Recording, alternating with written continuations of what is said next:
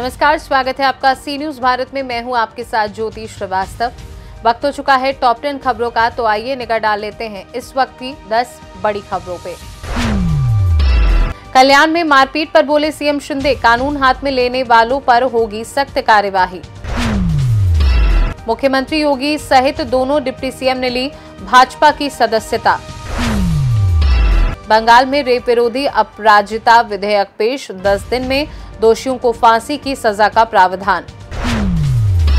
Payroll खत्म गुरमीत राम रहीम की आज बरनावा आश्रम से सुनारिया जेल में होगी वापसी। इमरजेंसी पर हंगामा, कंगना पर नहीं असर धाकड़ अंदाज में अनाउंस की नई फ़िल्म। बदायूं में युवक को सांप ने डसा, बोरी में बंद कर पहुँचा अस्पताल। दंतेवाड़ा में सुरक्षा बलों और नक्सलियों में मुठभेड़, नौ नक्सली ढेर।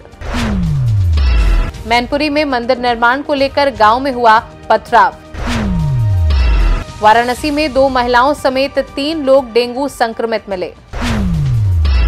लखीमपुर में सवा छह साल बाद पीलीभीत तक शुरू हुआ ट्रेन का सफ़र। फ़िलहाल के लिए इन टॉप टेन खबरों में बस इतना ही। देश दुनिया की बाकी खबरों को जानने के लिए आप देखते रहिए सी न्यूज़ भारत।